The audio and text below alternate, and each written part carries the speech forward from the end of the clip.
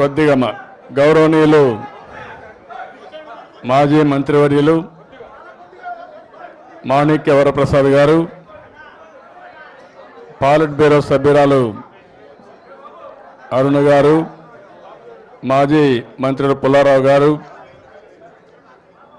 MPP Nagaraju Kumar గారు ZPTC Venu గారు హనుమంతరావు గారు మణి మణికు వేణు గారు మణికుమార్ గారు అదే మాదిరిగా ఎమ్మెల్యే మద్దాల గిరి గారు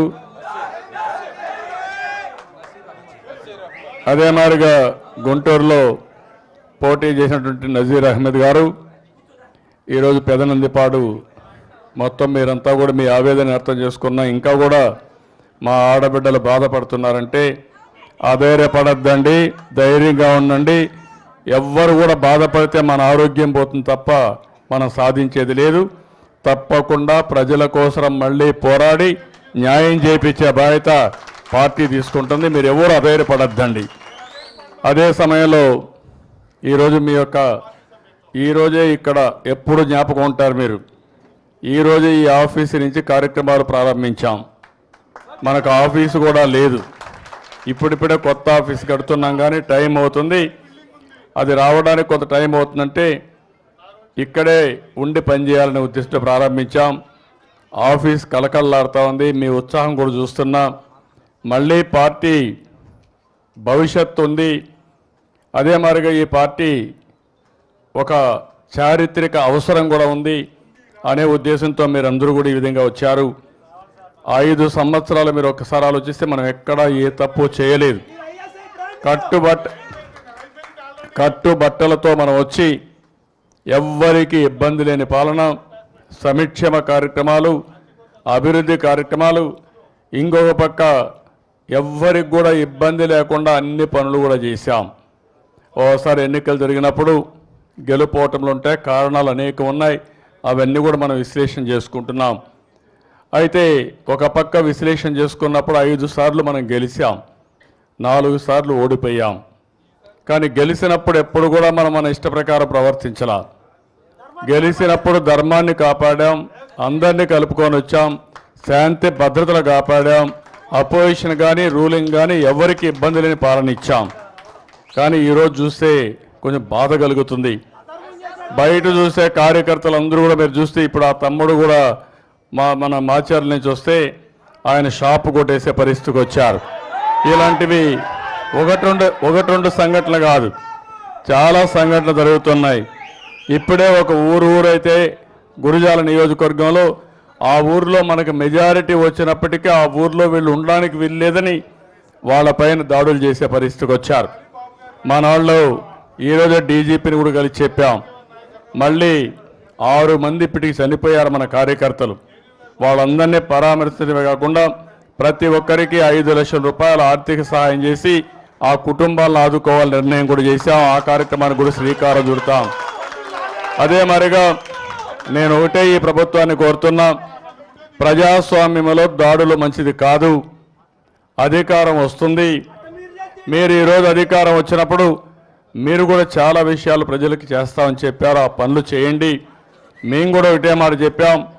మీరు ఆరు నెలలు టైం ఇచ్చి మీరు కానీ కన్స్ట్రక్టివ్గా పనిచేస్తే మేము కూడా మీకు సహకరించాలనుకున్నాం.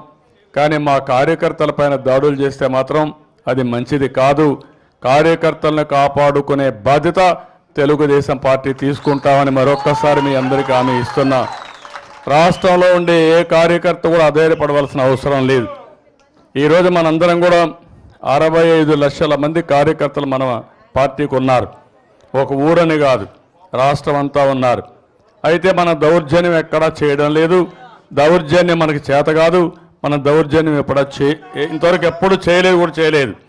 అలాంటి సమయంలో అలాంటి సమయంలో నేను ఒకటే కోరుతున్నా అధికారం కానీ అపోజిషన్ కానీ తెలుగుదేశం పార్టీ కొత్త కాదు కానీ ఇప్పుడు నూతన వరవళ్ళకు శ్రీకారం చుట్టే పరిస్థితికి వచ్చారు. అందుకని ఒక ధైర్యాన్ని ఇస్తున్నా ఎందుకంటే ముప్పై ఏడు సంవత్సరాలు తెలుగుదేశం పార్టీ జెండా మోసింది ఈ కార్యకర్తలు. ఆ కార్యకర్తలను కాపాడుకునే బాధ్యత తెలుగుదేశం పార్టీదని చెప్పి కూడా నేను మీకు తెలియజేస్తున్నా. పోలీసు వ్యవస్థకు విజ్ఞప్తి చేస్తున్నా గవర్నమెంట్కి విజ్ఞప్తి చేస్తున్నాం. మీరు కూడా ఈరోజు లా అండ్ ఆర్డర్ కాపాడండి. ప్రజల ఆస్తులకి ప్రజల ప్రాణాలకి మీరు అన్ని విధాల భరోసా ఇవ్వాలని మరొక్కసారి కోరుకుంటూ పెదనందిపాడు. ఇప్పుడే కాదు ఎప్పటి నుంచో నేను చూస్తున్నాను. ఎప్పుడూ తెలుగుదేశం పార్టీకి కంచు కోట అలాంటి పెదనందిపాడు మిమ్మల్ని అందరినీ ఒకటే కోరుతున్నా ఎవరు అధైర్యపడవలసిన అవసరం లేదు. ప్రజల కోసం పెట్టిన పార్టీ ఇది. మన నాయకుడు ఎన్టీ రామారావు గారు ఆ రోజు ముప్పై ఏడు సంవత్సరాల కంటే ముందు పెట్టి ఆ రోజు సమైక్య ఆంధ్రప్రదేశ్లో కానీ ఈ రోజు కానీ తెలుగుదేశం పార్టీ చేసిన పనులు శాశ్వతంగా ప్రజల గుండెల్లో ఉంటాయని మరొక్కసారి మీకు తెలియజేసుకుంటూ మనం చేసిన పనులే మనకు గెలి గెలిపించడమే కాదు మనకు శ్రీరామ రక్ష.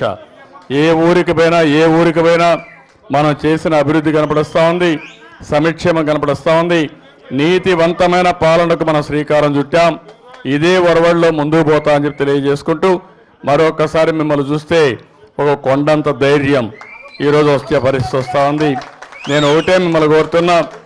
ఈరోజు మీరు ఎవరైతే ఉన్నారో ఇంత మునిపై అరుణ్ కుమార్ గారు చెప్పినట్టు కులాలకు మతాలకు ప్రాంతాలకు అతీతంగా తెలుగుదేశం పార్టీని బలపరిచే ఒక సైన్యాన్ని మీరు తయారు చేయాల్సిన అవసరం ఉంది.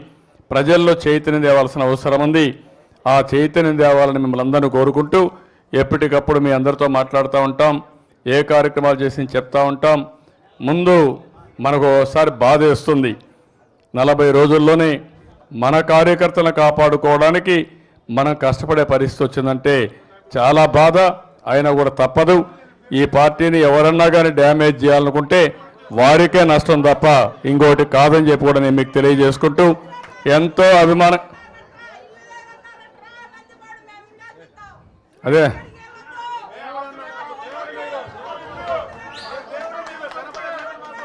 రా.